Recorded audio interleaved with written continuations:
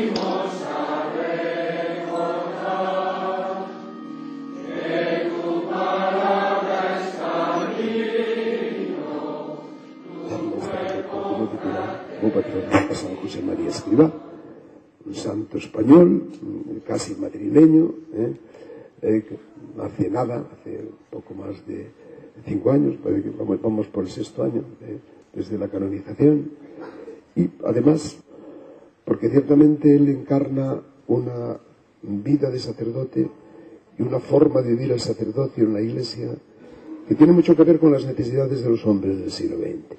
Y diría yo, con las necesidades a las que quiere responder una parroquia, de hacer presente la Iglesia en la vida normal, la vida ordinaria, la vida de las familias, para que encuentren a través de, de su parroquia y así de la Iglesia el camino de la santidad.